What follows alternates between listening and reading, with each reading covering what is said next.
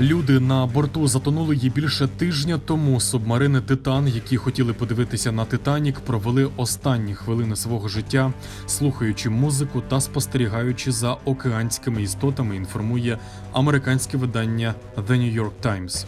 Як повідомляв обозріватель, у результаті лиха загинули п'ятеро людей, серед яких виконавчий директор компанії Ocean Gate Стоктон Rush, який і належав підводний апарат. У статті The New York Times йдеться, що за день до занурення загиблим сказали дотримуватися дієти з низьким вмістом залишків, щоб не стимулювати роботу кишківника та не пити каву в день експедиції. Їх попросили завантажити свої улюблені пісні на телефони. Також людям сказали надягнути товсті шкарпетки та шапки, адже чим глибше буде опускатися підводний човен, тим ставатиме холодніше. Крім того, рідні загиблих розказали, що їм видали льотні костюми Ocean Gate, водонепроникні штани, помаранчеві водонепроникні куртки, чоботи зі сталевими носками, рятувальні жилети та шоломи. Причиною гибелі батискафи Титан, який прямував до затонулого Титаніка, стала імплозія.